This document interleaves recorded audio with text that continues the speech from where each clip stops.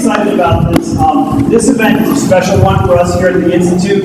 Um, there's a couple of reasons why I'm excited about it. First, it's the inaugural event of a new center on campus, the Center for Human Rights, and uh, we're just super thrilled um, that this is started here um, at Catholic University and that Bill Saunders um, has joined us in that effort. And that's the second reason why, why I'm excited. Bill joined the Institute about a year ago, and he's been an, enormous asset to us, to what we're doing at, at the Institute. He brings, among the things he brings, is uh, an acute legal mind. He's Harvard Law trained. Um, he brings a network of friends like uh, Robbie, who's brought to us tonight. And he brings energy and passion for human rights.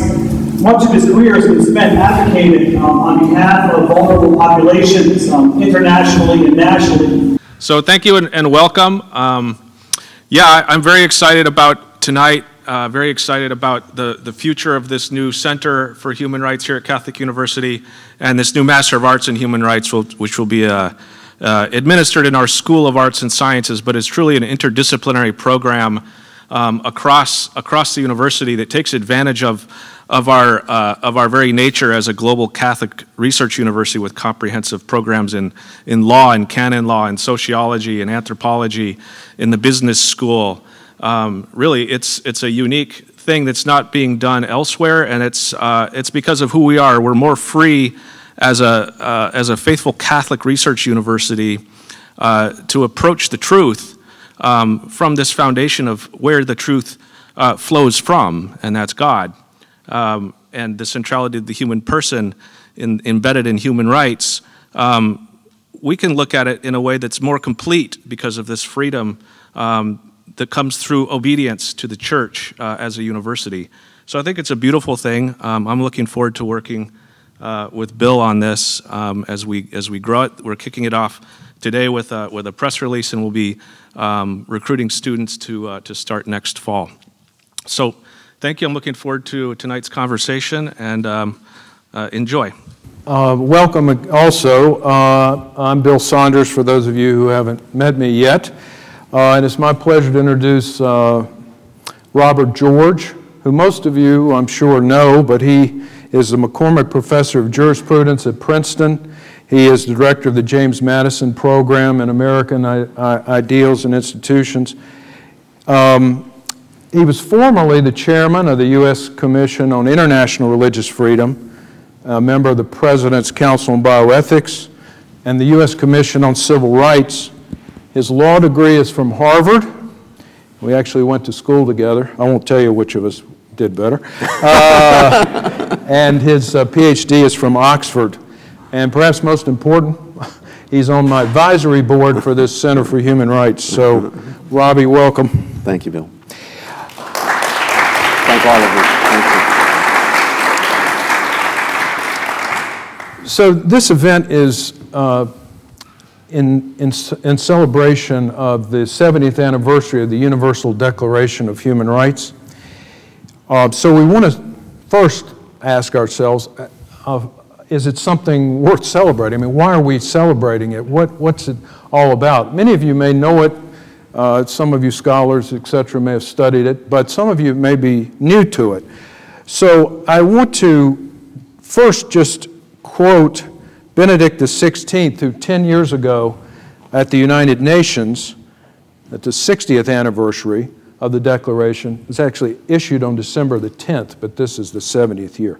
Anyway, he spoke at the United Nations, and he called the uh, Universal Declaration the outcome of a process which placed the human person at the heart of institutions, laws, and the workings of society.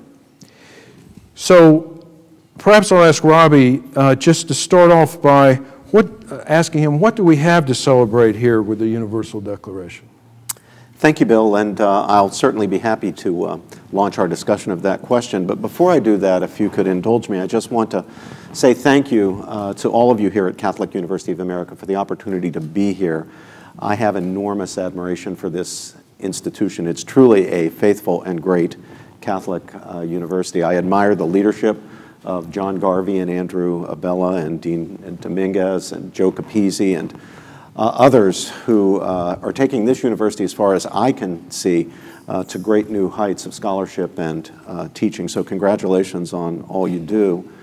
I'm also very excited about the new master's degree program in human rights. There are human rights degree programs, including master's degree programs, at a lot of different places, but I think this institution will really bring something new to the table, and that is an understanding of human rights rooted in the deep tradition of thought that takes us back to Athens and to Jerusalem. Uh, uh, an approach to human rights that really anchors human rights in truths about the human person and the flourishing of the human person, the goods of the uh, human person. Deep stuff. Uh, but if we're going to understand human rights correctly, and if we're going to have a sound basis for affirming and upholding and acting on behalf of human rights, then we need that kind of deep understanding. So, Bill, I'm excited uh, about what you're doing, and I congratulate you, Dean Dominguez, and the entire leadership of Catholic University for bringing this program. I hope that uh, some of you in the audience who are younger and, and uh, some who are watching us uh, on the live stream uh, who are thinking about their own academic futures and are interested in human rights will consider the possibility of enrolling uh, in the new master's degree program in human rights here at Catholic University of America. Bill warned me not to push that too hard because they don't want to be flooded at the beginning. They'll, they'll start with a smaller class and, and, and build from there. But uh, that's how excited, really, I am about the program. Uh, and then, at the risk of embarrassing uh, Bill, I will mention not only that he is my godson, uh, he was received into the Catholic Church uh, uh, after um, we got to be friends at Harvard, and I had the honor of sponsoring him. But this man, who really should be featured tonight, we should be switching chairs here a, in a discussion of human rights. Uh, this man is genuinely a human rights hero, a person who has literally put his body, put his life on the line, upholding human rights in very dangerous places like the southern Sudan. Bill will remember, he won't tell you about it, uh, he's too modest, I will, uh, that he uh, literally um, was bombed. Um, he, he was subjected to um, aircraft bombing uh, when he uh, was with a group of Sudanese uh, Christians at Christmas time uh, a number of, uh, of years ago. Uh, Bill knew he was going into a terribly unsafe area, and he went there more than once, but to stand in solidarity and to support people who were victims of terrible human rights abuses. So, so Bill, now that I've now that I've uh, embarrassed you, I hope you'll uh, forgive me, but it, it, it's some indication of why it's such a special honor for me to be up here with, uh, with Bill Saunders. Why should we be celebrating uh, the UN uh, Declaration of Human Rights? Because it's an extraordinary achievement. It's a document that brought together people of many, many different faiths and shades of belief to make a statement of common ground and not just a least common denominator sort of approach, but to make a profound statement of the dignity of the human person, the profound inherent and equal dignity of the human person, and an affirmation of the rights that human beings have, not in virtue of any special trait, strength, beauty, intelligence, social standing, but simply in virtue of their humanity. If we look at the long course of human events, that's not something people have been all that eager to affirm. The strong are not always so eager to affirm the equal dignity and human rights of the weak. The brilliant, sometimes not all that eager to affirm the equal rights of the cognitively disabled. The history of eugenics tells that story. And yet, here we had people from the Eastern faiths, like the uh, Confucian, Dr. Chang, uh, from India in the Hindu tradition, like Miss Mehta, from the Middle East, the Greek Orthodox Christian Charles Malik, so many others coming together across those historic lines of cultural and religious difference to affirm the basic dignity of the human being and basic human rights. That bill is an achievement. That's something worth celebrating. Now, look what it took to get us there. Yeah. We need to understand the UN Declaration of Human Rights on this 70th anniversary. And whenever we think about it and talk about it and try to give effect to it, we need to remember it in its historical context. December 10, 1948. That's when the final ratification occurred. This is in the wake of the terrible catastrophes of the First and Second World Wars, the untold carnage, the unspeakable horror, torture, murder, the atrocities of the Nazis, the Gulag under Stalin in the Soviet Union. That's what brought together people like Chang and Malik and Mehta and the French uh, Jewish jurist Cassin, Rene Cassin, to create the Declaration of Human Rights, the UN Declaration of 1948. But thank God and thank them that they produced this great document. Now, it's not as if it's self executing. Having a great document by itself isn't worth much. But it does give us a kind of call to arms. And it does empower institutions of civil society. I guess what today we've come to talking sort of antiseptically of as NGOs, but people who organize together to, for example, stand up for the victims of persecution in Somalia or Sudan. It has given civil society an instrument in the name of which to demand of repressive governments, offending regimes, respect for the dignity of the human person and his rights. So, Bill, that's why we're right to celebrate this. We, we've got to do a lot more than celebrating if we're going to effectuate these great principles, but we're right to celebrate. Uh, I, I, think, as you as you indicated, um, many many people, perhaps of our age, but certainly younger people, don't understand, um, don't don't grasp deeply what the sec- how the Second World War just brutalized the world and the concentration camps and. Uh, in fact, Mary Ann Glendon, who's a, a, friend of ours, and she's also, I'm proud to say, on our, my advisory board, uh, in her book, uh, she talks about how when the United Nations was founded in, in 1945, there was some references to human rights, but not spe much specificity. But it was only kind of after, as that was going on that these atrocities were becoming known. And when you add that to the killing of civilians and stuff like that, the world really agreed to, issue, to a statement on human rights, which I don't know if we could ever achieve again. Glendon says in her book that the interval between the end of the Second World War and the final demise of the Soviet American partnership had just enough time for the declaration to be issued. Uh, it's true uh, that, uh, well, it was passed 4808, and the eight abstentions included some uh, six communist countries but no, no country voted against it. And even though the, Russian, the Russians had been difficult, they did not vote against it at the end. So it was passed unanimously. It's a standard the whole world issued. If you look in the Charter of the UN, we're trying to, you know, uh, avoid a third world war. And I just want to read, if I just take one second to read uh, just a word or two from the preamble, because I think, you know, we talk about summoning language and summoning ideas that call us to, to be greater than ourselves, just listen to a few words. This is in the preamble. Whereas recognition of the inherent dignity and of the equal and inalienable rights of all members of the human family is the foundation of freedom, justice, and peace. Whereas disregard and contempt for human rights have resulted in barbar, and this is a an unforgettable phrase, I think, have resulted in barbarous acts which have outraged the conscience of mankind.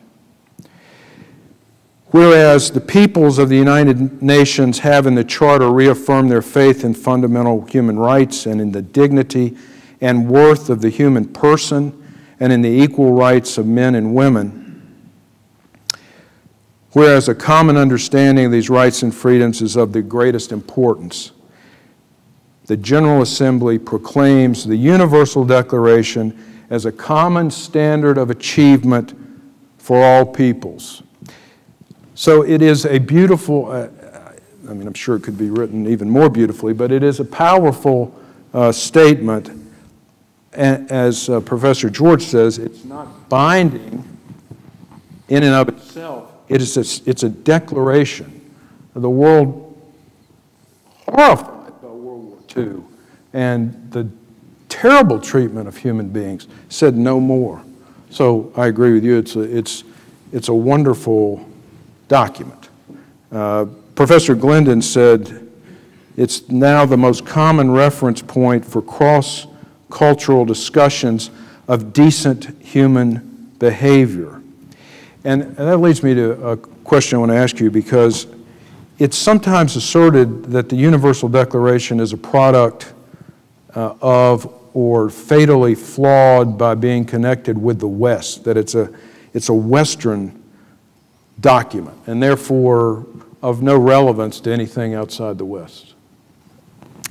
Well, certainly, uh, it's certainly true that streams of uh, thought that are dominant uh, philosophically uh, in the Declaration come from Athens and Jerusalem and from the Enlightenment uh, in the West and from other Western traditions and uh, sources. But note, as I mentioned earlier, that among the architects were people from the Eastern tradition, Hindus, Confucians, others.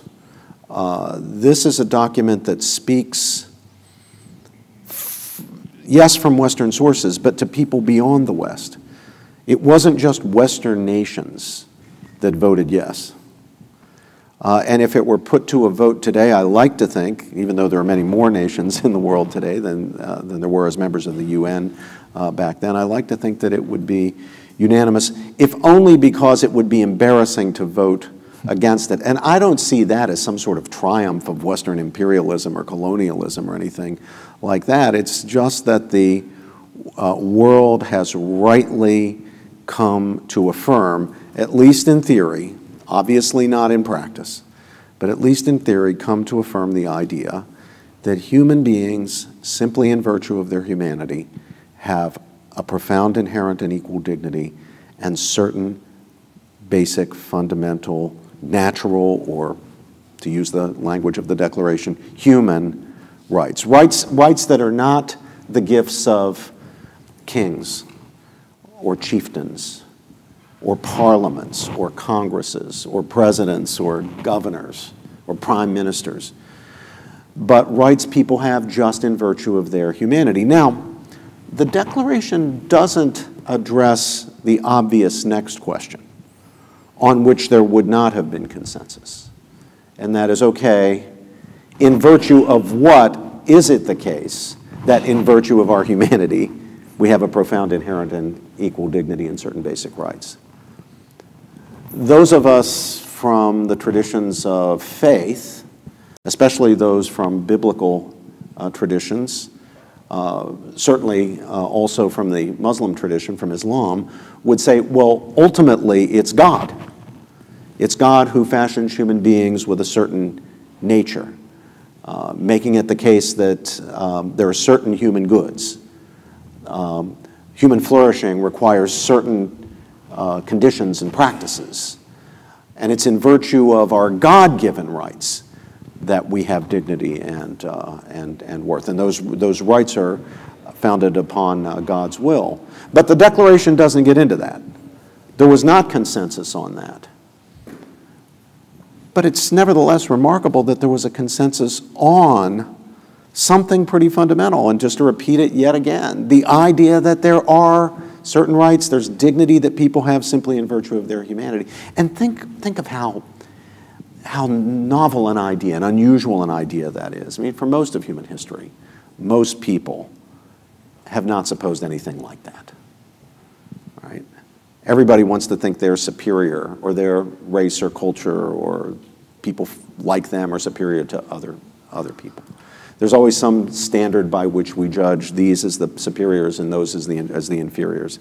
These are worthy of ruling, those are worried, worthy only of being ruled. These are worthy of being masters, those are worthy of being slaves. Even in our own tradition, obviously, uh, we have the, our history of slavery, which people tried to defend in religious terms, including in Christian uh, terms. That's been the historical record for the most part over, over human history. And yet, this document reflects an understanding that, nope, as a matter of fact, the strong are not superior to the weak. The brilliant are not superior to those who are less intelligent or cognitively disabled. The beautiful are not superior to those who are uh, not so pretty, not so handsome. Um, we're equal. We're equal in our fundamental worth and dignity. Now, none of that is to deny that there are differences of strength, intelligence, beauty, and so forth. Now, obviously, they, there are those differences. And those differences are sometimes perfectly good reasons for treating people differently. You know, we, we, we don't give wheelchairs to people who don't need wheelchairs. We give wheelchairs to people who do need uh, wheelchairs. It's okay that uh, LeBron James is able to play in the NBA and they don't want me. That's okay. It's not discrimination. It's not a violation of our fundamental and equal dignity. But if you buy into the basic idea of inherent dignity, of equal dignity, of basic rights, then you are scandalized, as I trust all of us are. You'd be scandalized by the very thought that you could, for example, kill and take organs from a severely cognitively disabled person in order to save the life of a great athlete like LeBron James who needs a liver transplant, or a great scientist, an Albert Einstein who may need a heart transplant. Why are we scandalized by that? Because we have, thank God, internalized the idea that however salient in certain domains, the difference between you know, LeBron James is and somebody who, uh, you know, uh, is in a wheelchair, or Albert Einstein is and somebody who's cognitively disabled, that in fundamental dignity there is no difference. Einstein does not have greater dignity than a Down syndrome person. LeBron James does not have greater dignity than a paraplegic person. That's really amazing when you think about it. And it's hard to stick to it because we frail, fallen human creatures, even if we theoretically affirm it at some level, we're always at risk of falling into believing that by virtue of some trait or another, these really are superior to those. Think of the way some people treat the unborn child. Well, the unborn child isn't far enough along in its development, so we can treat the unborn child as inferior. Some even say the newborn child, because the newborn child hasn't yet, my colleague Peter Singer at Princeton argues this, the newborn child uh, hasn't yet developed um, the, the degree of self awareness and mental functioning, say, of an adult rabbit or dog. And therefore, we can treat the newborn child as less equal, not only than, than, a, uh, than, a, than a mature human being, but than a mature rabbit or, or dog. And, and there's always the temptation to think of people who are seriously disabled, especially the cognitively disabled, as somehow inferior, as people who are um, using up resources. What the eugenicists in the old days, in that very vile phrase, referred to as useless eaters. The Nazis picked up that phrase. So we have to fight against that temptation all the time even those who, of us who are theoretically very strongly committed to principles of human dignity and human rights, we need to fight against that temptation. We need to be able to see the fundamental worth and humanity of anybody the homeless person under the bridge, the disabled person, the mentally disturbed person, the person whose mental illness may result in his being very offensive, maybe even involved in criminality and so forth even those who are involved in criminality, even those who are being subjected to penal uh, punishment, still they have an unerasable fundamental human dignity. You know, um, if, if what you've said, Robbie, is uh, very powerful about why this is an important anniversary and why this document is so important, it leads kind of the second question of, is it a, is it a, is it a good, are we going to be, a, is it going to carry us into the future? Uh, So, ta- I want to just quote Mary Ann Glendon again, but the, the idea of some criticisms uh, about the document and maybe about human rights, the whole idea. Um, Glendon says again that it's paradoxical, but the success of the Human Rights Project, the more it's shown its power, the human rights idea has shown its power, the more intense the struggle to capture that power for various ends, not all of which are respectful of human dignity. And in an article she wrote uh, about Benedict's talk 10 years ago at the UN, she said that nine dilemmas were identified in Benedict's uh, speech to the UN uh, that have become even more acute as the Human Rights Project has advanced. So I just want to mention one or two and, and see what you think about them. Um, this is uh, one, the escalating demand for new rights. What do you think? Does that undermine us so that, well, Yes, these are very good points that Professor Glendon uh, is making. Um, I think these are points that we have to especially drive home to our young people because they have grown up in a culture in which human rights concepts, human rights ideas, human rights language has, uh, these things have prestige. And so students will latch onto them. Everyone, everybody wants to be for human rights these days, right? Who wants to say, no, no, I'm against uh, human rights? But as Professor Glendon uh, points out, that creates dangers. Now, the particular one that you asked me about, Bill, if I recall. uh, Well, this, there's, there's kind of two related ones, escalating de- demands for new rights, as well as a selective approach to the core rights. So a kind of a confusion about what are rights. Sure. So let me talk a little about the first one, and I think she's absolutely right about this. Um, whenever the rhetoric of any good thing becomes the dominant rhetoric, then people are going to seize upon that rhetoric to advance whatever agenda, whatever ideology they have. Even, even, a, even, a, even a great concept like the rule of law. Plato himself, Plato pointed this out. This is how far back this Plato pointed out that the concept of the rule of law can be used where it has prestige for bad ends. The same is true with human rights. And here's where you get the rights inflation. Since our lingua franca, as it were, is the language of human rights now in ethics, especially political ethics, people will try to win ideological battles, advance their agenda no matter what the agenda is, in the language of human rights. So they'll inflate claims. Whatever they desire, they'll treat it not as a desire, they won't present it as a desire, a want, a feeling, a passion. It will be a human right. So if I want something, I have a right to it, just in virtue of my wanting it. Now, obviously, that devalues the currency, is all inflation does. That's what inflation does, devalues currency, right? So it devalues the currency of human rights if we all dress up whatever our wishes are, whatever our agenda is, in the language of human rights. And it also has the effect, and this is her second point, of um, causing us to lose our grip on the core, fundamental, basic human rights. It treats the putative right to this or that thing, whatever we want, as equal to, let's say, the fundamental right to life, understood as the fundamental right not to uh, uh, be killed, where your, your, your death is the precise object of someone's choice or, or act. Um, uh, or the fundamental right to the free exercise of religion, the right to conscience, or the fundamental right to speak one's mind in pursuit of the, the truth. We lose our sense of the power and importance of the fundamental rights because of the inflation that happens when you identify whatever it is you desire, whatever it is on your agenda with, with rights.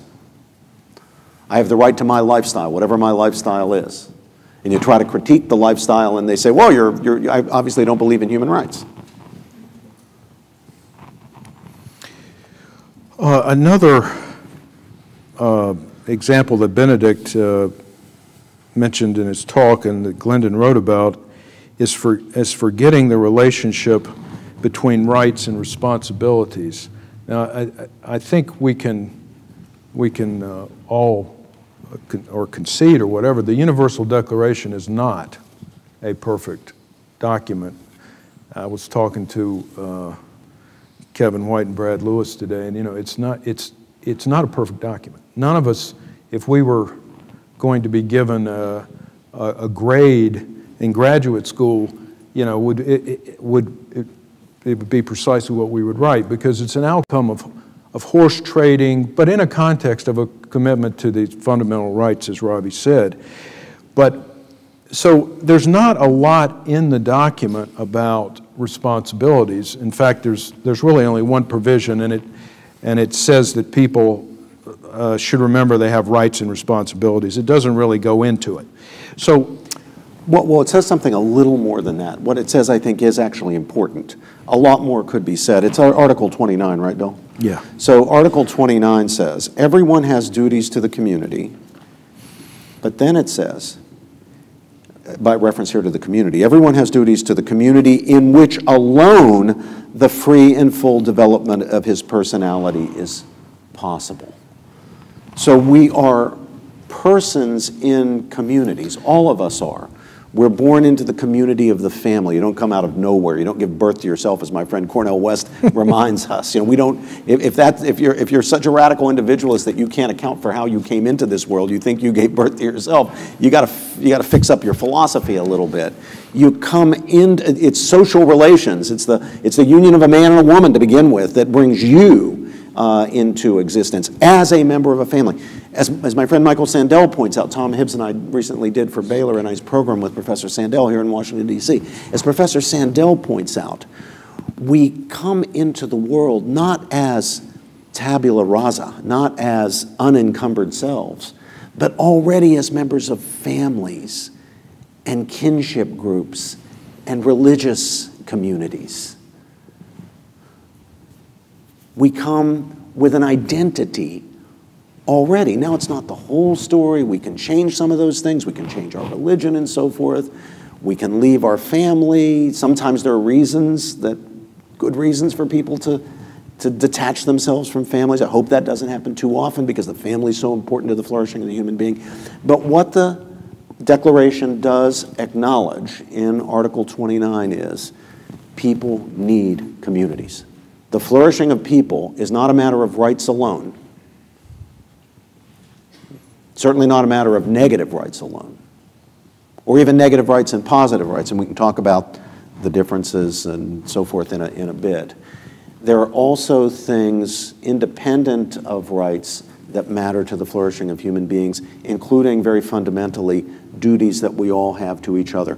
Now, some of those duties are specific to the smaller communities of which we're members, are duties within the family, parents' duties to children, eventually, as some of us who are my age um, uh, come to realize, duties of children to parents, du- du- duties of siblings to each other. We have duties as members of religious communities, our, our religious duties. We have uh, duties in uh, relation to others with whom we, we work. Uh, we have all sorts of communities that we're members of, and we have all sorts of duties in relation to those. And those duties, like those rights, are themselves implications of the good of human beings, the multifaceted, very variegated good of the human person. As a, as a creature that is biological, physical, that is intellectual, rational, that has feelings and emotions, that enters into social relations with each other, that wonders about the meaning of it all and aspires to some sort of relationship with the more than merely human sources of meaning and value. We're complex critters. The good of the human being is variegated, and the good of the human being requires a recognition of duties as well as rights. would you want to say a word about the negative and positive rights in the? Uh, yeah, uh, we Americans uh, tend, not, I, I, I want to use a weak word there, tend, uh, when we think of rights to think of negative uh, rights. Maybe it's our rugged individualism, which I don't hold in contempt at all. I mean, I think there's some truth in the idea of of uh, rugged individualism. It's something we should affirm, but not to the detriment of a recognition of our uh, community uh, responsibilities and of, the, of, of, our needs as human persons to flourish in communities. But when we Americans think of rights, we tend to think of negative rights. That is, rights that other people or rights that government not do this or that to us, not interfere with our free exercise of religion, not interfere with our right to speak our minds, not interfere with our right to publish um, investigations of the government, uh, publish in the media uh, our rights to assemble together, to have a meeting like this, or to have a political rally, or to have a, uh, a protest, and, uh, and so forth. But um, the Europeans, and of course there was large European participation in the Declaration, um, when they think of rights, think not only of the negative rights, but also of positive rights. The rights that the community, or at least communities, have to individuals, or the obligations that community or communities have to individuals which are the um, uh, correlatives of the rights people have. The right to education. Uh, the right is in this document to social security. Now, that doesn't mean necessarily the system we call social security, but to something to ensure that people in their old age uh, don't fall into uh, complete uh, poverty. Uh, the right to health care. Um, these positive rights can be spoken of meaningfully. Uh, I think in many cases they could be affirmed. I would want to affirm them. But it's very important to note the differences in theory and practice between negative rights and positive rights. Uh, when, especially when speaking of positive rights, it's very important to consider what exactly is being asserted. If someone says, I have a right to health care, or everybody has a right to health care, the question that's got to be asked is, okay, yes, uh, we want a society in which, to the extent humanly possible, feasible, uh, uh, people are not rendered destitute by health emergencies and people have access to health care. But who is supposed to provide health care to whom? On what terms?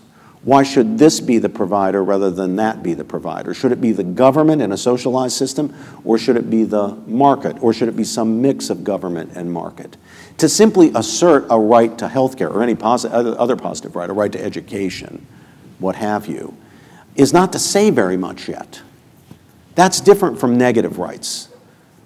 To say that I have the right to the free exercise of religion pretty clearly means, pretty straightforwardly, neither the government nor any powerful group within society or any other individual can stop me from going to Mass or require me to go to Mass or stop me from holding a Passover Seder or for celebrating uh, uh, the uh, holy month of Ramadan. We get that. We understand that. It's pretty straightforward. Now, we may have a debate about whether there is such a right or what the scope and limits of the right are. We have a very good debate uh, going right now about the scope and uh, limits of the right to religious freedom. But things get a lot more complicated because they're less clear when it comes to positive rights like education and health care. The goal is one on which people can agree. We want to make health care affordable and accessible for everyone. But there's also a very legitimate debate about whether that should be a socialized system in which the government provides or a market system that ensures a lower cost and therefore greater affordability and accessibility, or some mix. To just say, I have a right to health care, doesn't really say much of anything. And too often, an assertion of a positive right is just a kind of um, rhetorical device meant to claim without saying so that you think the government should provide this or that or the other thing. Well, if the government should provide it, we're going to need an argument for why it should be the government. And we're going to have to consider what the pros and cons are of a socialized system. And that can be a complicated business. One on which, by the way, to finish the thought, yeah. one on which it's likely to be the case with respect to these positive rights that reasonable societies differ in how they think the good ought to be provided. Differ in light of their history, their traditions, their uh, cultures, the people's own sense of priorities. If I assert there's a right to health care, well, Where should healthcare be in a list of social priorities? Where should it be in relation to education? Where should it be in relation to recreation? Any community's got to make decisions like that, even if you've decided to provide some good on a social basis. The, the, the town of Bethesda, Maryland will have to make a decision with its limited resources. Do we think what we need now is a new swimming pool for our kids or a library? Even a rich place like Bethesda sometimes can't afford both. So it's got to prioritize, it's got to make decisions. And the assertion of a right to recreation or a right to um, education is not going to solve anything. That's just, that's just rhetoric. Now, again, I'll, I'll close just by, on, on this point just by saying none of this is meant to say that to claim positive rights is a meaningless thing, much less to claim that we should never make assertions of positive rights. It's just to note that if you make claims of positive rights, then you've got some arguing, you've got some uh, intellectual work that you're going to have to do. You're going to have to provide the explanation for how you think the good that people have a right to should be provided and why it's that way. Yeah, and I would even say that that thought is echoed in that Article 22, which talks about economic, cultural, and social rights, but it says the obligation uh, of the states to provide these depends on the organization and resources of each state. So right. it's a, just like you're saying, Bethesda has to figure out how to, how to do these things. Um, I wanted to mention, uh, well, uh, one of the, I want to ask you about religious liberty, but first I just want to say that one of the points that uh, Glendon and, and Benedict XVI had noted was one of the problem, uh, not necessarily problems, but becoming more acute that we have to think about is the question of foundation of the document. And again, I was talking to Brad Lewis today, and he was reminding me that Maritain had said, we agree, we came to agreement on this uh, list or catalog, but not on the underlying theory. Because like you said, it's from different cultural perspectives. But we need, it seems to me, to have a discussion about the foundations behind these so that we can solidify a commitment to them and not have things start to split apart. Because one of the dangers here is this is just seen as a catalog, you know, 1 through 30. And so country A says, well, I'm going to do number four, but I'm not going to do number 26 or whatever. So there's a kind of a unity here. And from Catholic social teaching, there's a kind of a unity here. But we have to keep discussing that. But I think what Robbie is saying is showing that there's quite, the document itself gives us an opportunity to have these discussions. Yeah, that's absolutely right. And um, was simply reporting a fact. Um, uh, Malik, uh, for example, Charles Malik, the great Lebanese uh, statesman, Greek Orthodox, uh, and uh, Mr. Chang, uh, coming from the Confucian uh, tradition, uh, Chinese, uh, during the deliberations had some lively debates about the, about the fundamentals. Uh, and they never reached an agreement. And they decided that they couldn't reach an agreement on the theory. What's the correct theory, if there is a correct theory? But they nevertheless were entirely united on the basic idea that people have rights just in virtue of their humanity. They have dignity in virtue of their humanity. Their dignity is an equal dignity, a profound and equal dignity, and there are rights that flow from that. Now, there's a lesson in that for us. What happened between Chang and, and, and Malik really is a kind of um, uh, emblem of, I think, what goes on more broadly. The different traditions of faith and other, what to use John Rawls's uh, term, comprehensive views, be they religious or secular in the world, uh, need not agree on the theory. Um, they certainly need not reach perfect agreement on the theory. But all of us as individual persons who are wondering whether we buy the idea of human dignity, whether we buy the idea of human rights, need to ask ourselves, why should we? And if we do buy it, if we do support the Declaration, why do we? Now, we'll need our own theory. That's not to say that people with a different theory can't also affirm the same basic list of rights or the principle of inherent and equal dignity. But in each of our cases, we have to ask whether we think there are sufficient grounds for it. There are obviously alternative views to the human rights view. One grand theory that's an alternative to it is the theory known as utilitarianism, which really kind of takes rights uh, out of the picture, although one great utilitarian, the famous John Stuart Mill, thought he could square the, uh, square the circle. But most serious utilitarians think that, that the idea of rights really isn't a good uh, piece of moral currency, that, uh, that the way you resolve any problem of morality, including political morality, is to choose the option among morally significant options, choose the option that overall and in the long run promises to produce the net best proportion of benefit to harm, however you define benefit of har or harm, and the idea of right just doesn't uh, figure in that. Or there's, of course, the rule utilitarian version, act on the rule that the acting on which overall and in the long run promises to produce the net best proportion of benefit to harm, however you define benefit and uh, harm. But if we're going to reject those alternative approaches and embrace a human rights approach, we need to know what the good reason is. So we need to be wrestling with it, even if we acknowledge that there are there is more than one. In fact, there are many uh, traditions uh, of faith and other comprehensive views uh, that can uh, ground a basic human rights view.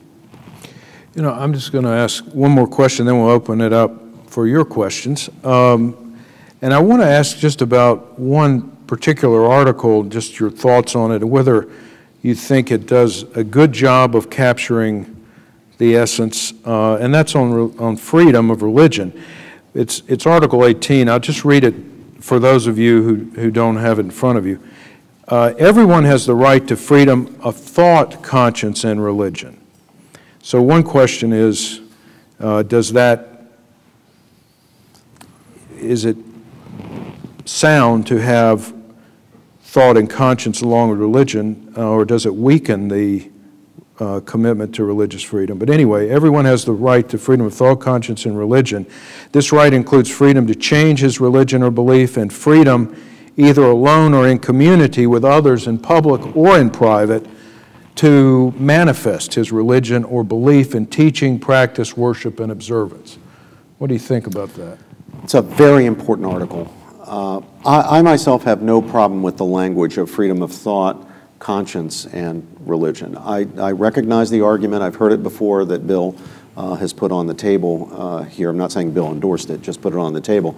That uh, it should speak only of freedom of religion, because to speak of freedom of thought and conscience as well as religion somehow dilutes the, the um, protections for uh, religion as a special uh, category.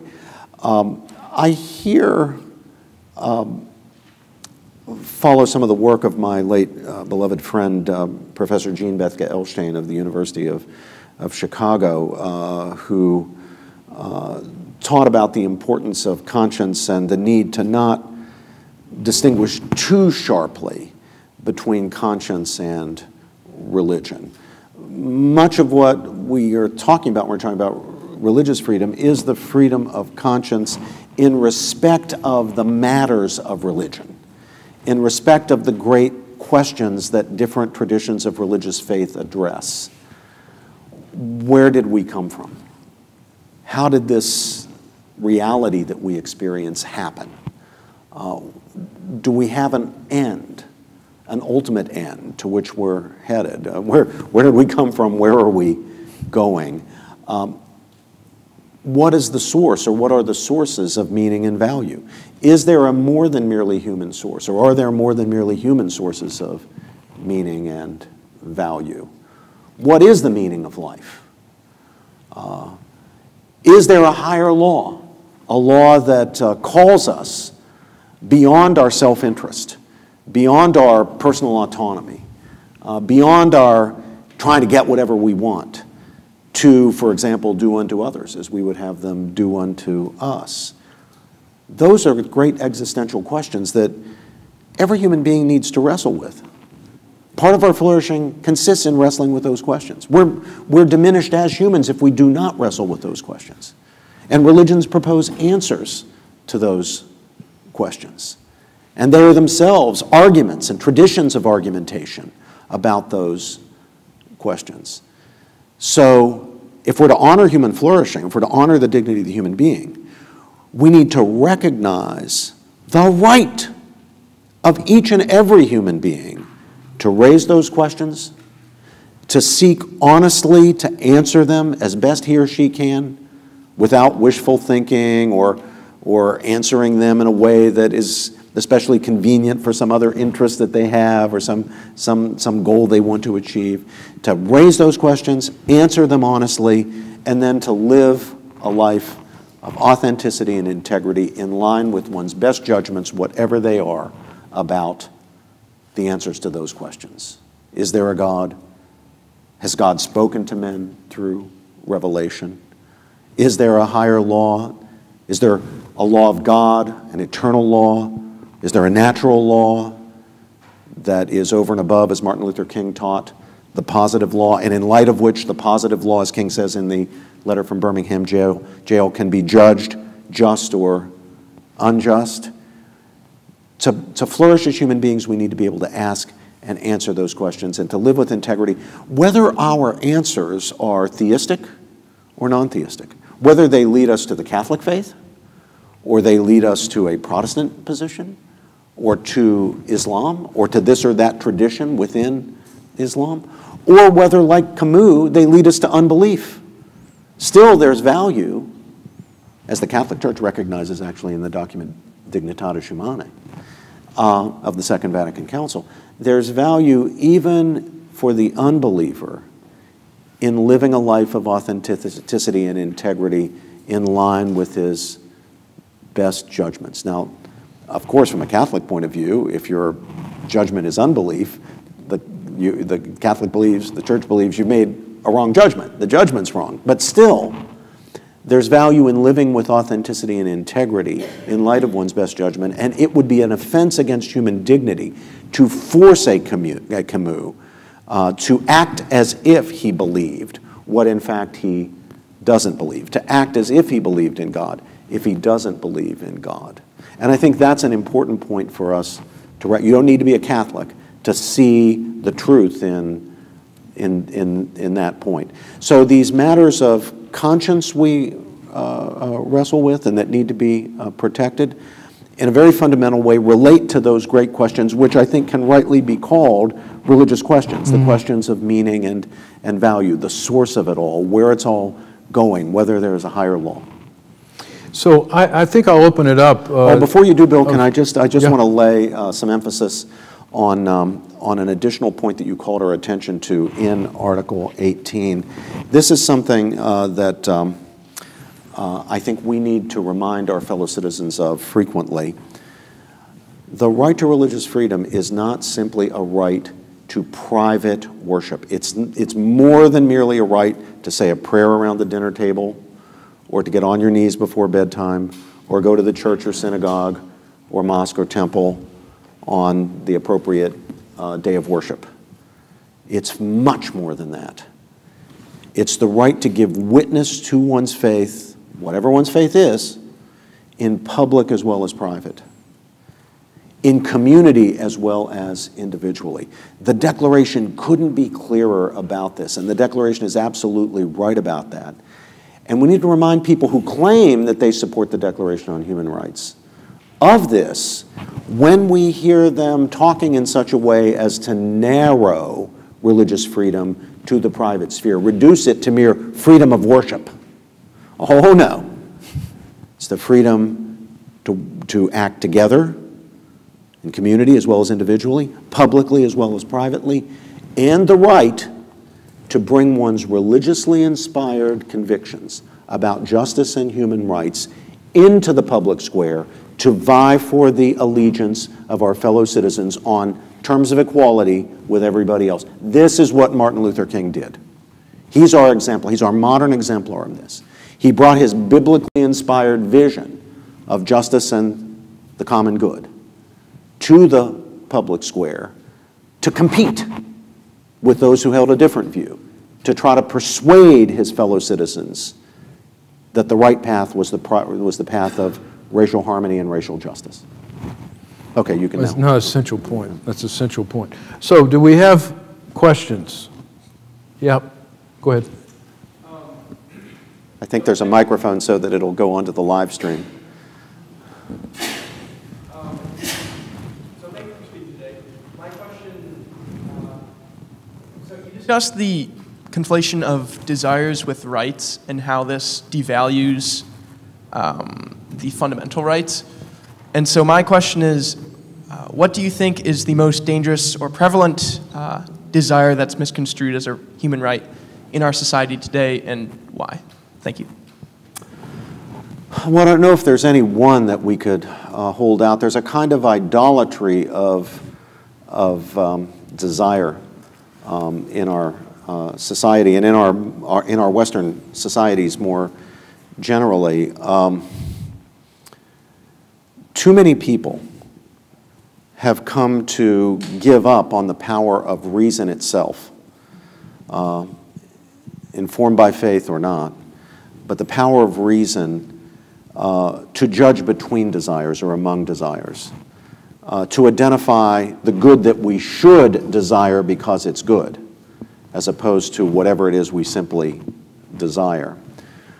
Philosophically, this is the reduction of what Aristotle called practical reason to a purely instrumental role. Uh,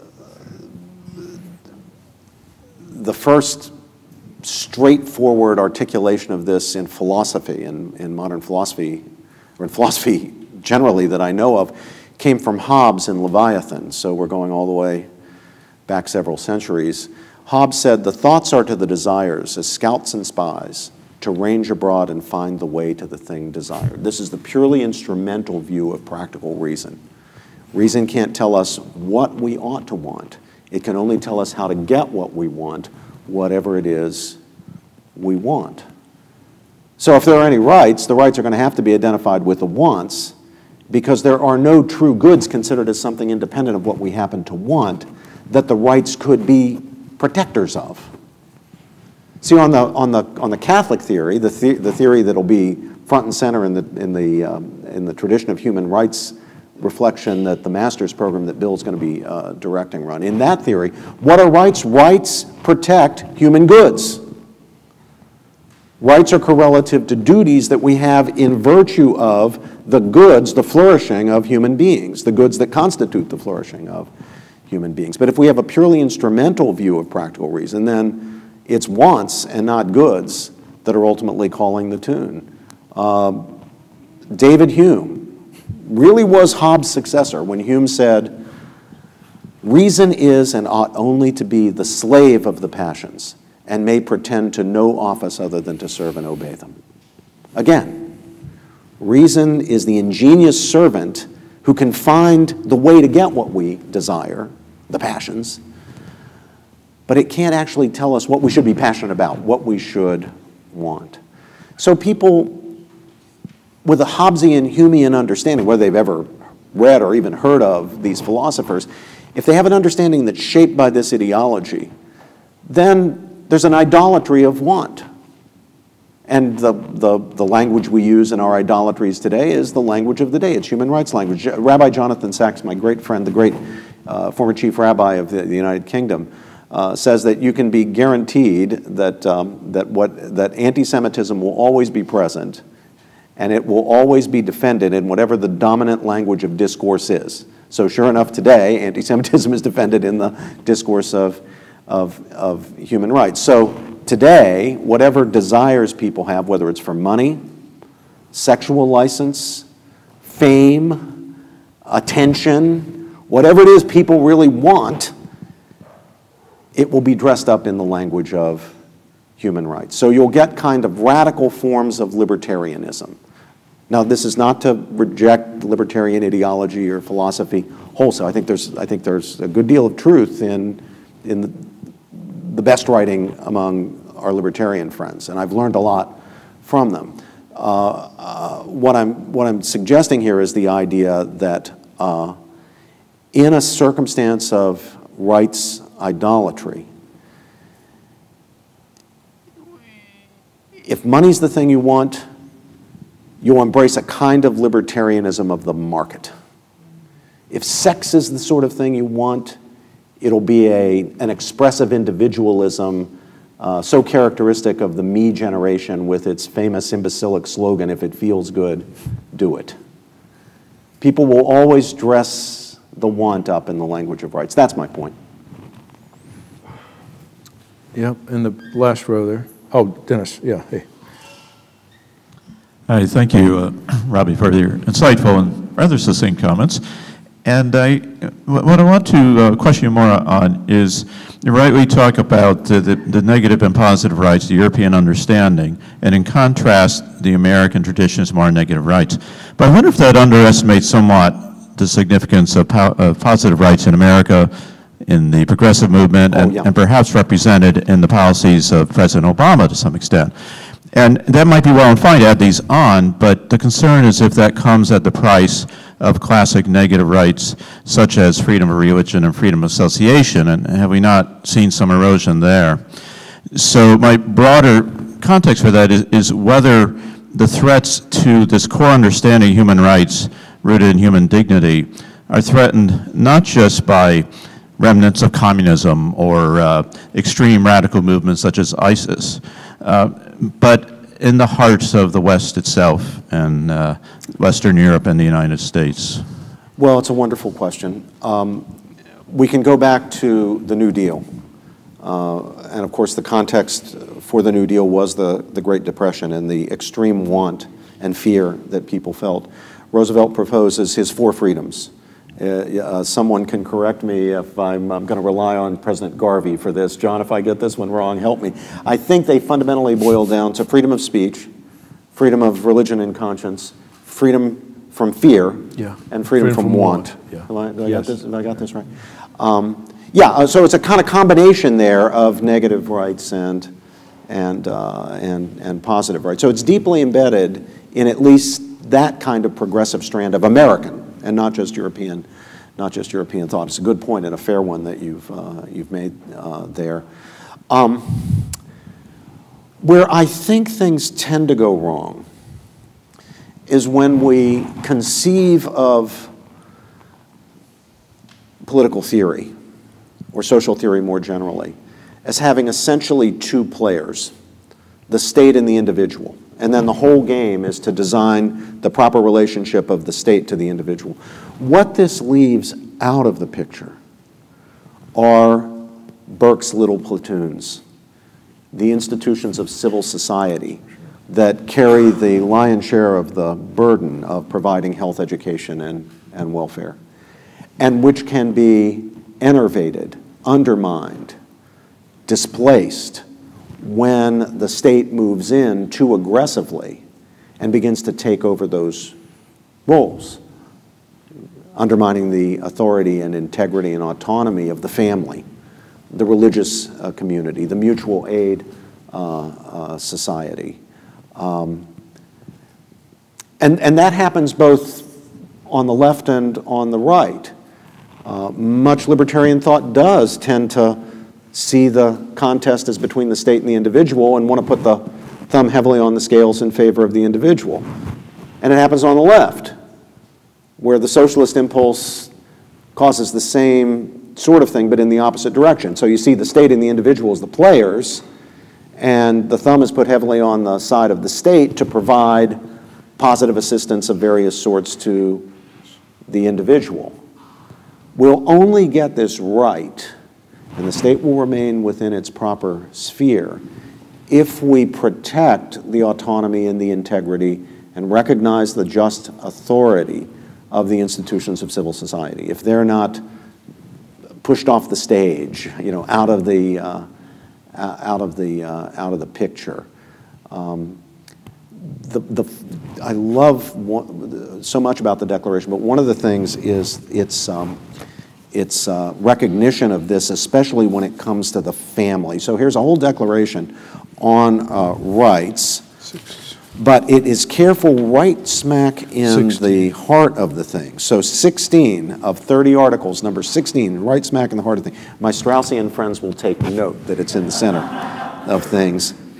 The family is the natural and fundamental group unit of society and is entitled to protection by society and the state. In other words, it's not the role of the state to undermine the family or interfere with its just autonomy and its just authority. Quite to the contrary, it is the obligation of, of the state to favor and to foster and support and to defend, if necessary, the institution of the family. We might say the same thing about the church and the neighborhood uh, community and the campfire girls and the 4-H and all of Burke's uh, little platoons, all of the institutions of civil society, all of the institutions that Tocqueville noticed as far back as the 1830s were essential to the functioning and success of American democracy, of democracy in America. That's, I think, what gets forgotten at the two extremes, at the libertarian and socialist extremes, the importance, the centrality of the institutions of civil society. And that's relevant to rights. If we're going to talk about what positive rights people have, people have a right to be brought up in the family to the extent possible. Now, bad things happen. You know, parents are killed. Parents leave the family. There are bad things that happen, and we have to do something about that. But it's still sensible to say, it's meaningful to say, that a child has a right to be brought up with his mother and his father. There's a right to be brought up in the family. And, and, and a communist state that comes in and, and, and commandeers the kids, takes the kids away from the family, or interferes with the family relation so that the parents cannot be proper, and it doesn't matter whether it's communist or what it is, but any state that does that is violating the rights of the child, violating the rights of the parents, violating the rights of the families. All of that can be put into the language of rights too. Yeah, you're a former student there.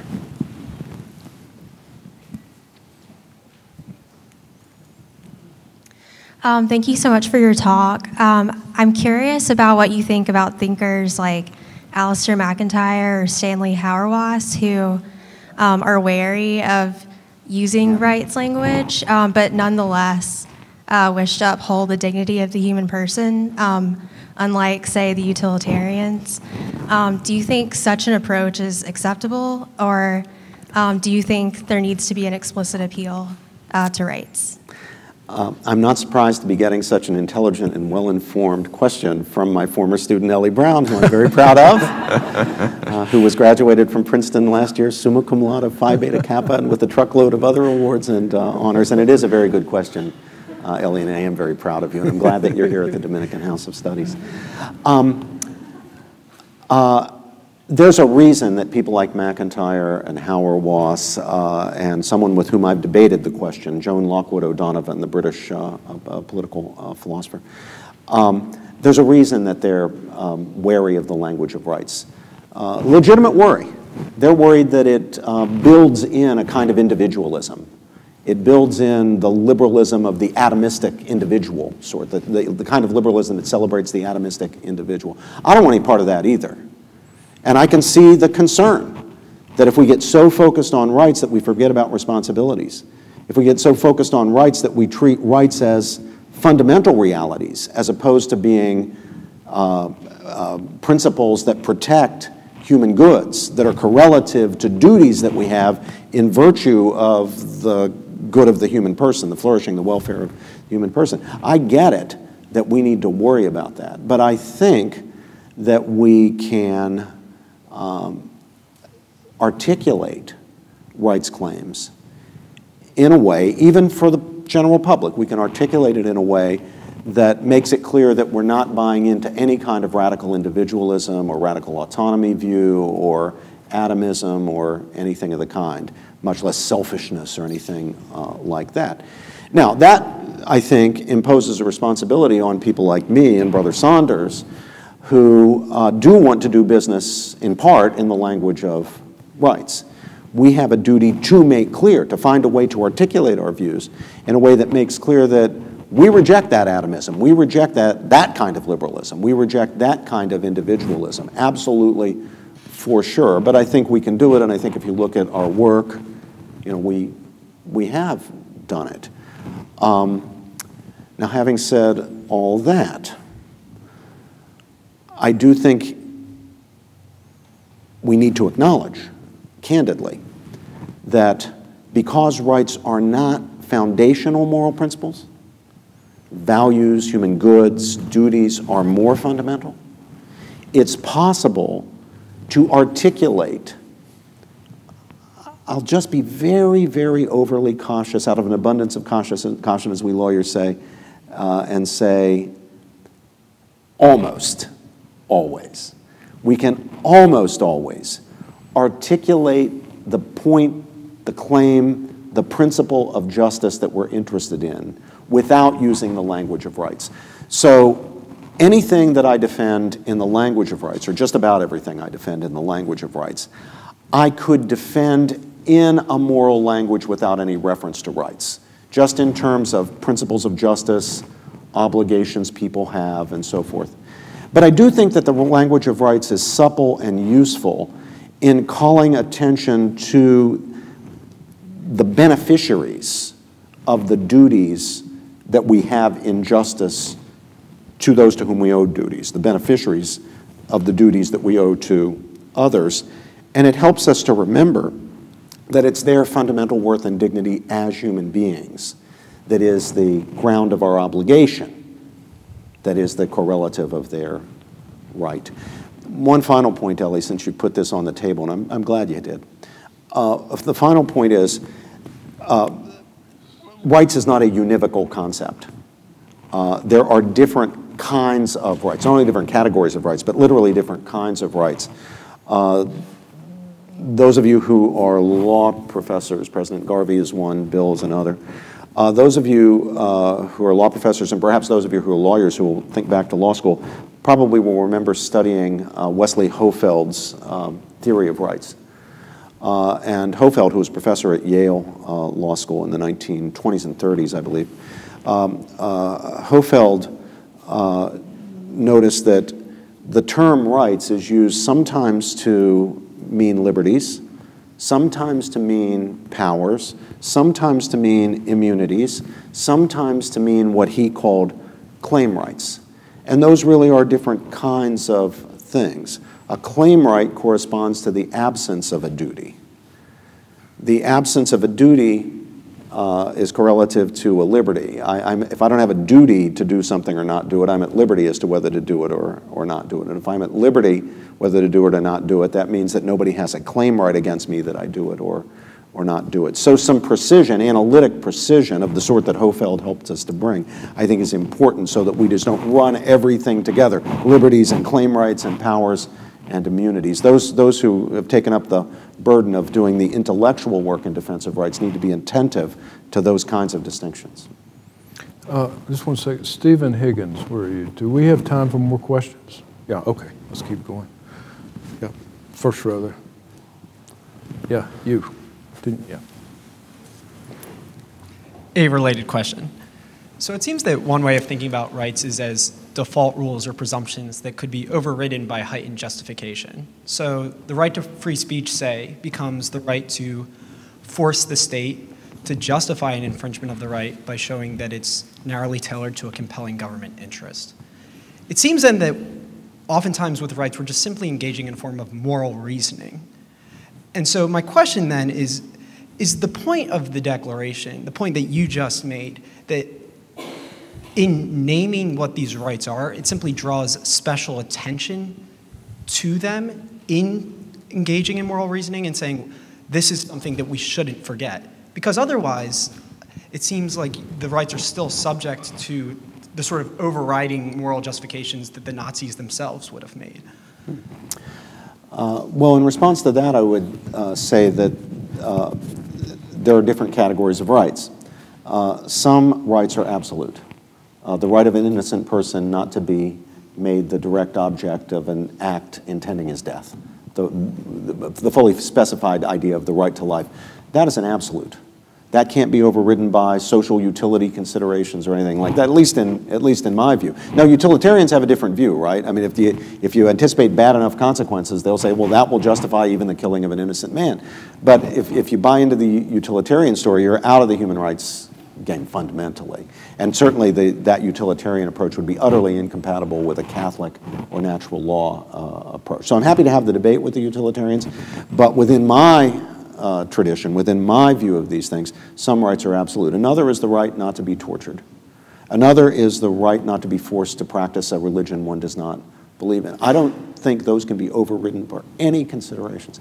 Then there are other rights that are not absolute and we have to specify them, and then we can start thinking about what their uh, limits uh, uh, are. The right to the free exercise of religion does not the, include the right to torture other people in the name of religion, even if your conscience requires you. Even if your conscience requires, requires you to fly a plane into buildings, or to, or to burn heretics. It's a violation of other people's rights, and it can't be accepted as part of, within the scope of, the free exercise of religion. Same with freedom of speech. Not all aspects of the right to freedom of speech are absolute. There are limits. Uh, we don't have the right to defame each other. One another interesting thing about the Declaration, while it uh, does um, articulate the right to free speech, just as our Constitution does in the First Amendment to the Bill of, uh, the, in the First Amendment in our Bill of Rights. Um, unlike our Bill of Rights, the Declaration goes to the um, bother to point out that in addition to the right to free speech, people have a right to their reputations. And that the state has an obligation to provide some provision to protect, presumably slander and libel laws, to protect people's reputations or allow them to protect their own uh, reputations. I, I don't know how that principle uh, uh, could be applied uh, against, say, New York Times against uh, Sullivan. Uh, to go to an old Warren Court case from 1965, which very significantly reduced the, the, the, reputational rights of people who count as public, public figures. Um, so I think that's a very important distinction between absolute and non-absolute. Now, even when we're in the domain of non-absolute rights, I would not want to accept something like my late teacher Ronald Dworkin's view of rights as trumps against general utility, where we conceive of what he called matters of policy in utilitarian terms to be trumped by what he called matters of principle expressed in the language of rights. I think it's a mistake to import utilitarianism into any of the picture when it comes to theories of political morality, to political theory. So I would uh, urge a concept of the common good which understood the common good in non-utilitarian terms and which understood that rights, far from being trumps on the pursuit of the common good, are themselves aspects, irreducible aspects of the common good of any decent society. Yeah. Yes. Uh, uh, yeah. Right. Right. That's fine. Uh, we'll get the next. We'll get get you next. Thank you very much. Um, a question that came to mind, and, and as you were uh, in your previous answer talking about uh, sort of compelled religion, uh, concern that often comes up or is represented about Islam, particularly, say, in yeah. ISIS, where there's violence against non-believers. Uh, a question that came to mind was, as you were talking about the background of the Declaration, were there uh, Islamic scholars or thinkers that were involved in the in the Declaration? You referred to Confucian and other traditions, but I didn't hear Islam and wanted to know if there were Islamic it, thinkers. The, the Declaration was ratified uh, by uh, Islamic countries. Um, uh, many Islamic countries today, including some that uh, were not in the UN uh, at the time, uphold, well, they, they purport at least to uphold, you know, the, a lot of regimes claim to uphold the principles of the Declaration or claim to support it, but don't actually practice what they, uh, what they, what they preach. But um, there is a provision, Bill quoted it, um, in Article 16, the Free Exercise of Religion article, uh, that says that people's right to religious freedom includes the right to leave your religion. And this is a hotly disputed issue in many Muslim societies and among Muslim scholars. There are reputable Muslim scholars who believe, as I believe, that the right to religious freedom does include, at least against the civil authority, a right to leave your religion. In other words, gives you, to use the Hohfeldian term, an immunity. That's the right. It's a right in the sense of an immunity from civil coercion against leaving your religion. Now, these same scholars, as faithful Muslims would say, that does not mean that you have a right against God to leave your religion or a general abstract right to leave your religion because you have a duty to remain faithful to Islam. You are not at liberty, to use the Hohfeldian category, to leave your religion. So you have a claim right against the government, the civil authority, to leave your religion, but not a liberty against God or a general moral right to leave your religion. Now, there are other reputable Muslim scholars uh, who do not interpret uh, the, um, uh, the, the data of Islamic faith to permit leaving your religion uh, as a right even against the civil authority. Um, I have a view about which side I hope wins that struggle, but I have no right as a non Muslim to say what the true Islam is. Um, but I'm certainly uh, supportive of the efforts, sometimes heroic efforts, of uh, wonderful Muslims uh, to um, uh, uphold a robust conception of, of religious freedom. Uh, even some who will not go as far as to recognize a right of um, people against the civil authority to leave a religion will still um, defend a fairly robust uh, conception of free exercise of religion that would forbid, for example, coercing non Muslims. There was a wonderful declaration just uh, three or four years ago uh, organized by uh, Sheikh bin Bayyah, Sheikh Hamza, Muslim, uh, Sheikh, Sheikh um, uh, Hamza Yusuf, and others. Uh, called the Marrakesh, Marrakesh the Marrakesh Declaration on on the rights of non-Muslims in Muslim-majority societies and states.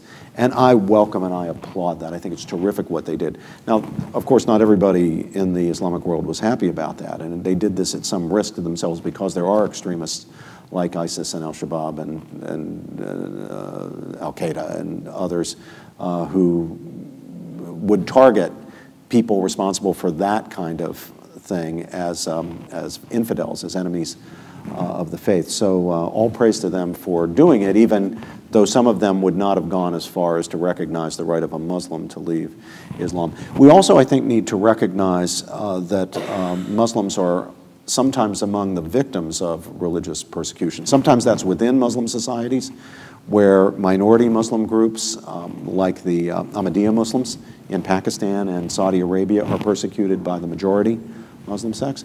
Other times, as in Myanmar, it's Muslims being persecuted by non Muslims. Uh, in Myanmar, it's Buddhist persecution of, um, of, of, Muslims. Uh, so uh, the situation in Islam is complicated. Islam is a variegated faith. There are many different types of Islam, there are many different cultures. Um, that, uh, uh, in which uh, Islam is a central part. Another thing that we need to be cognizant of, and, and too often we're not, in the West. It would help if the media would learn a bit about Islam. We need to be cognizant of the differences between cultural practices that are associated with a religion but not required by the religion and requirements of the religion. Um, female genital mutilation is not required in Islamic faith. But there are Muslim cultures and some non Muslim cultures in which it is practiced. Now, the circumcision of male infants is required by the Jewish faith.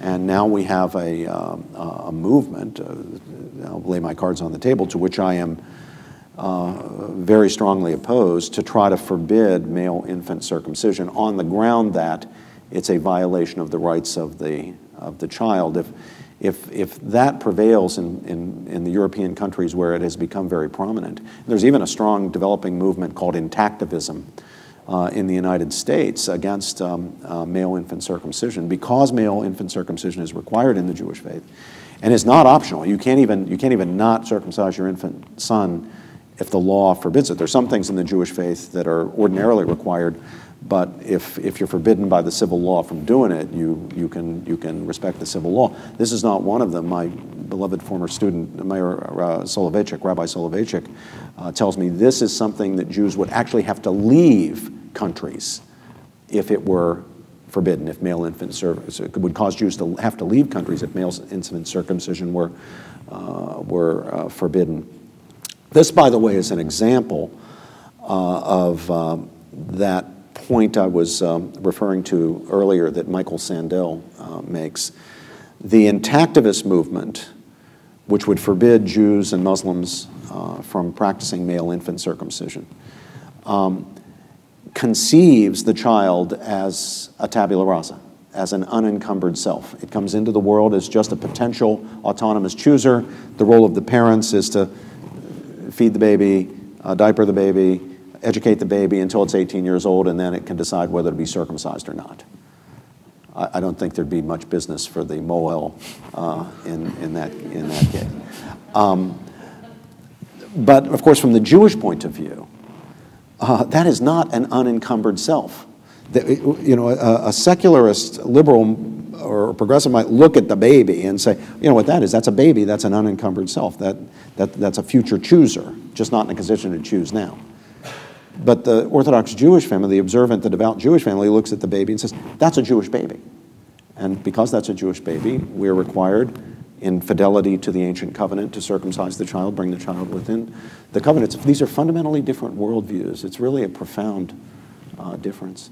Don, Dawn, you want to come in on this? Uh, of course, you know something about this. Question, since you mentioned intactivism, it interested me because I have Jewish relatives. Oh, Dawn sorry. Eden Goldstein. Uh, thank you. Yes, Dawn Eden Gold, Goldstein, uh, uh Holy Apostles College and Seminary.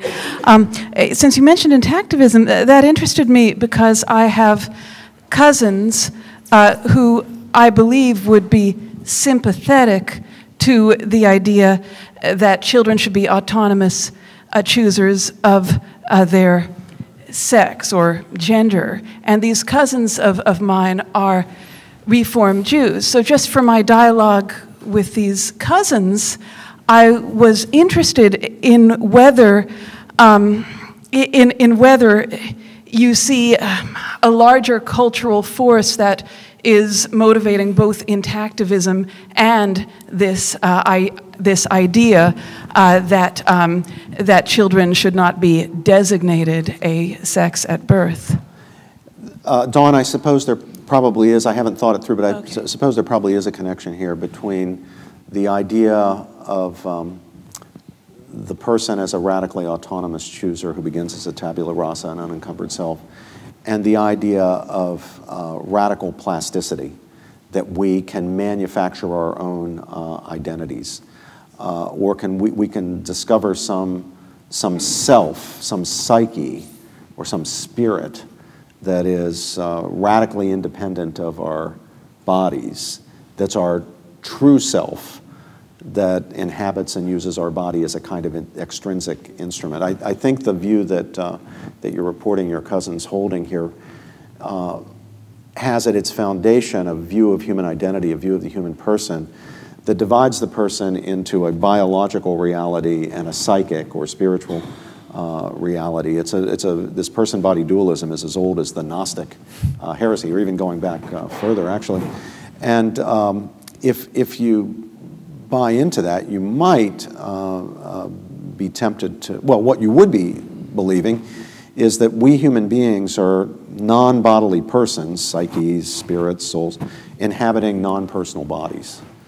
Um, and we use those non personal bodies as instruments. And if the non personal body doesn't line up with the psyche, we're not damaging or violating the person by performing acts on the body, hormone treatments, amputations, whatever, to bring the body more into line, according to what criteria, I'm not quite sure, but more into line with the psyche.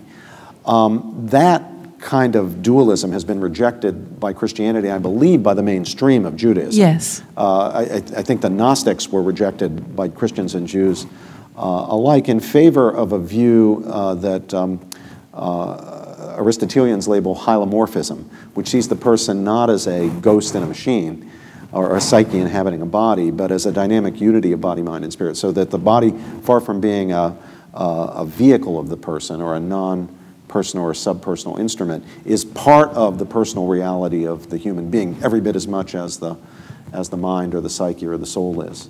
Yes, uh, thank, thank you. And just to explain why I asked that, that question, I thought that, uh, per, that perhaps if, if the same error was present in intactivism and you know, what some of my cousins might be sympathetic to with the idea that children shouldn't be designated as sex at birth, then since these cousins of mine are Jewish, I could say to them, well, if you believe this, that children shouldn't be des- have their sex designated at birth, then, th- th- th- then um, you're in line with those people who are trying to ban circumcision. And that might cause them to, to you know, reflect more deeply on uh, that they might be in error with respect Well, to. Well, that's very interesting. In my own advocacy on behalf of uh, uh, Jews who wish to practice uh, circumcision, uh, I have uh, run into uh, a uh, group of uh, rabbis uh, who I, I don't quite know how to label whether they're ultra reform or reconstruction or their own humanistic Judaism or whatever,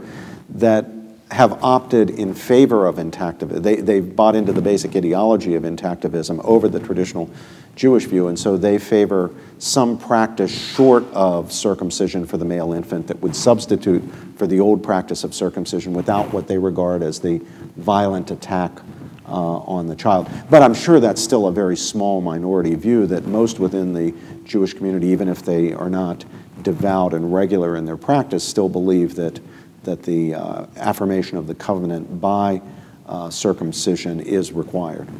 Thank Let you very uh, much. Let me add, uh, I want to add one thing for, about Islam, uh, just for people wondering, at the time of the declarations, uh, the vote, quite a number of Islamic, well, not quite a number, but six Islamic nations voted for it, including the largest Muslim countries at the time. Um, and they made arguments just like you did about a right vis-a-vis the state. And that's how they justified uh, supporting uh, Article 18.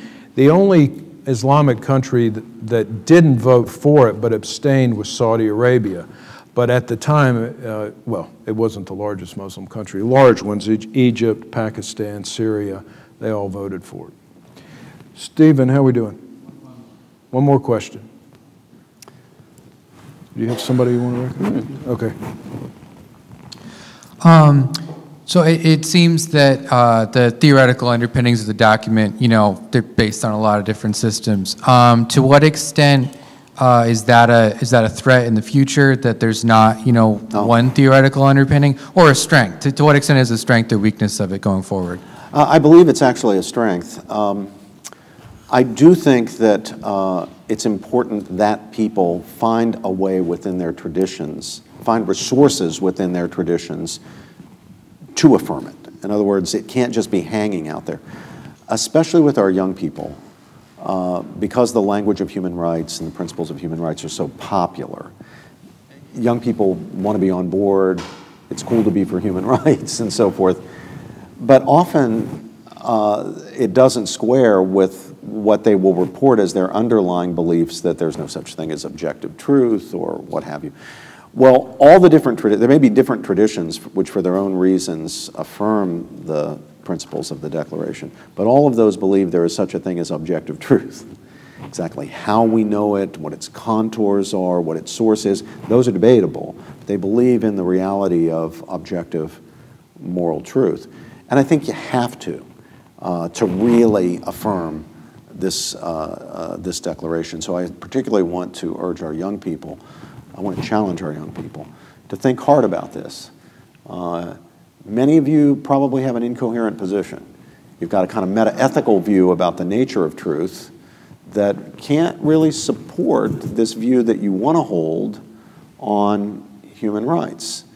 So if you do want to hold a view on human rights, you need to think more about whether there is a ground, an ethical ground, a moral ground for believing that there's a foundation, there's a truth that's there, an, an, an, an objective uh, uh, truth.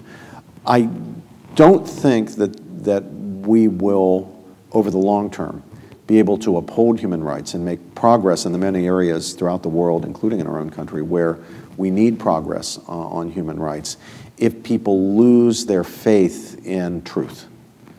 So I think part of the project for those of us who do believe in human rights, seriously believe in human rights, who believe in them not because they're popular, but because we think they're true, part of the challenge for us and our job is to be more effective in making the case. And I don't mean just moral, just uh, rhetorically effective. I mean to make the case better, make the stronger case, the strongest possible case for uh, a meta-ethical view that would provide a solid ground for belief in human rights.